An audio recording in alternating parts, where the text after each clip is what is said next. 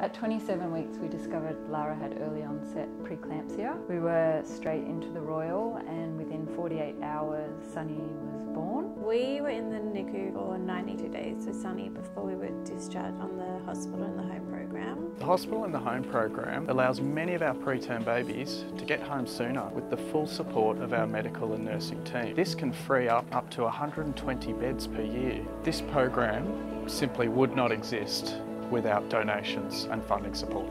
We saw the difference between a family like ours who was in the program versus a family that wasn't. And the program really helped us to kind of find our feet and adapt to being parents. Having Sunny at home with us earlier is something really special. When we got to bring him home, he was just always with us.